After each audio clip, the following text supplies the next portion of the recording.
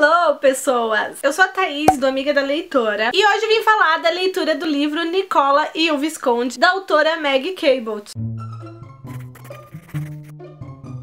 Nicola e o Visconde faz a linha daqueles romances de épocas juvenis que a autora Maggie Cabot vem lançando, do qual eu já resenhei aqui pra vocês, Victoria e o Patife, que eu vou deixar linkado aqui. Nessa história a gente conhece a Nicola, que é uma jovem órfã. No entanto, ao contrário da Victoria, a Nicola ela não tem nenhuma herança, a não ser a casa que os pais deixaram pra ela. Ela também recebe uma pequena quantia de dinheiro mensal herdada dos pais, e esse dinheiro a Nicola ela concentrou toda na educação educação dela. Ela foi estudar em um internato só para garotas, mas os estudos terminaram e agora é hora de voltar para casa. No entanto, a Victoria não vai voltar para Badia porque ela está prestes a estrear sua primeira temporada de debutante na sociedade londrina. Então o certo era ficar pela cidade mesmo, e já que várias amigas lhe ofereceu hospedagem, a Nicola aceitou e foi se hospedar na casa da sua amiga Honória, que por sinal é irmã do Lord Sebastian, um visconde do qual a Nicole está totalmente apaixonada. E como ela tá crente que vai receber um pedido de casamento desse Visconde, ela achou melhor ficar ali por perto mesmo. Um certo dia, o tutor da Nicola, do qual ela apelidou de rabugento, ele foi fazer uma visita e nessa visita ele contou para ela que a abadia da qual, né, os pais deixaram para ela, recebeu uma oferta de compra, uma oferta até maior do que o preço que a abadia vale. A Nicola achou isso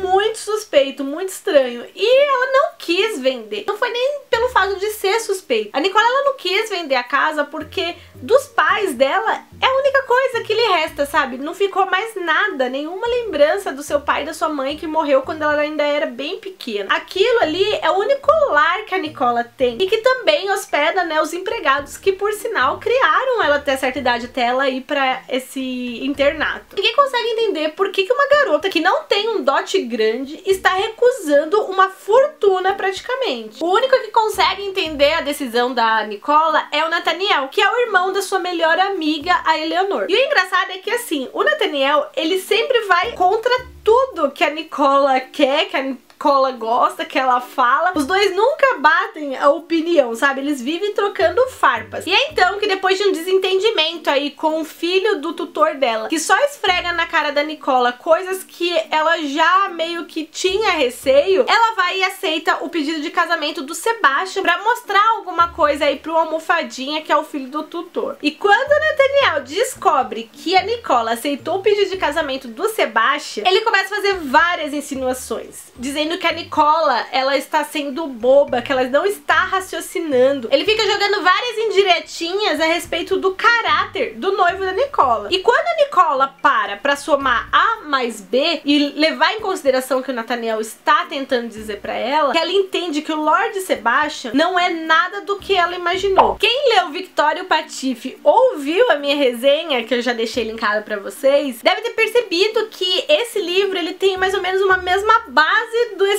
livro anterior, do primeiro livro. No entanto, gente, as coisas não são tão parecidas quanto elas parecem, tá bom? É, é bem diferente aí. E eu simplesmente adorei a personalidade da nossa é, protagonista. Enquanto a Victoria é uma garota abelhuda que se mete em tudo e manipula tudo, a Nicola é uma garota sonhadora, romântica, aspirante a poeta. Ela é totalmente diferente da Victoria. Mesmo a Nicola tendo uma situação financeira aí de baixa renda, ela não está disposta a vender os princípios dela, né? A vender a, a opinião dela, que seria entregar a abadia, né, que é a única coisa que restou dos pais, para poder garantir o futuro. Não, não é assim que ela pensa em garantir o futuro dela. O dinheiro que ela recebia, ela foi lá e investiu nos estudos dela para ela ser uma, uma dama, sabe? Para ela arrumar sim um casamento bom, mas com alguém que a amasse de verdade. É muito clichê eu falar que a leitura é maravilhosa, porque a narração da Maggie Cabot, ela realmente ela flui com muita facilidade. Tanto nesse livro como no livro anterior, a história, por mais que ela seja simples e voltada para um público juvenil, ela te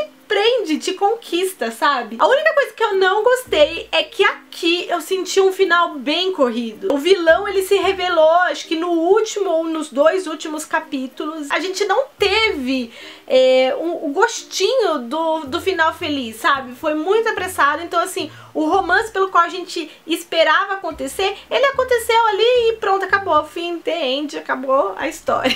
Mesmo tendo só esse ponto negativo pra mim, eu preciso dizer que assim, Victoria Patife é o meu favorito, sabe? Eu gostei muito mais do primeiro livro que eu li dessa série da Meg Cabot do que esse segundo. Eu super recomendo ele pra você aí que tem seus 14 anos ou um pouquinho mais do que os 14, 15, 16 anos e não está afim de pegar esses romances de época mais adulto que nós temos hoje, né? A gente pensou em romance de época, a gente sabe que vai ter cena caliente. Então se você procura alguma coisa fora disso daí, eu super recomendo essa série da Meg Cabot. Ela está muito a cara desse público juvenil, esse público que procura fugir dos romances mais picantes. No entanto, funciona muito bem também pra gente que é adulto, né? Mamãe papai que gosta de pegar os livros juvenis dos seus filhos pra ler. Eu super recomendo Nicola e o Visconde. Aqui você vai encontrar uma mocinha sonhadora, porém decidida. Romântica, no entanto, uma mocinha forte, de personalidade, de decisão. O que me chamou muita atenção aqui realmente foi a protagonista. Ela fez com que eu me identificasse muito com o livro. E eu estou bem ansiosa para ler mais coisas da Maggie Cabot. Super recomendo para vocês. É isso aí, pessoal. Eu espero que vocês tenham gostado dessa dica de leitura. Se você gostou, clique em curtir. Você vai me ajudar muito com a divulgação do canal.